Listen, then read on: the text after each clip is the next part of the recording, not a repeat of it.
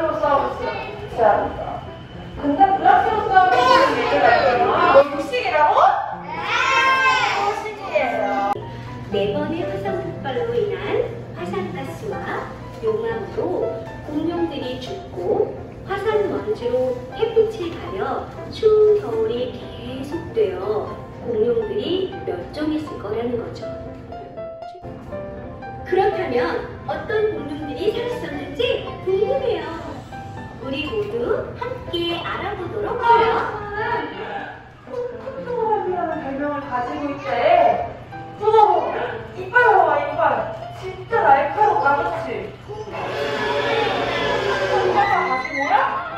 꼬리 나와봐. 오. 쓰리처럼 쓰는 이렇게 생겼다 다시 한번 봐봐. 우와, 진짜 신기하다.